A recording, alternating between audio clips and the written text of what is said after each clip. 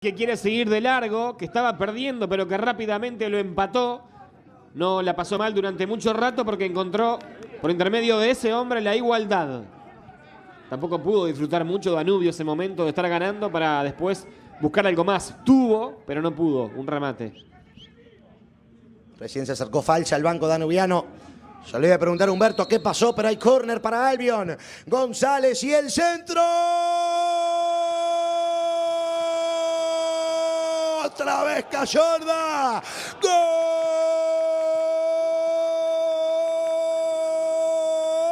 de Albion, de Albion, de Albion. Cayorda insoportable.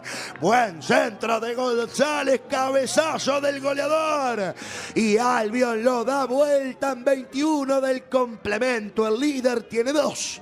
Danubio tiene uno.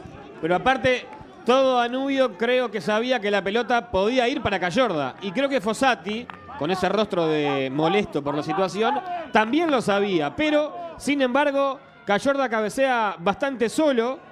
Pablo González mete un centro bárbaro de zurda. Lo marcan de atrás a Cayorda. Nadie se puso adelante de él. Con mucha libertad, prácticamente en el área chica cabeció Cayorda. Conde había preferido.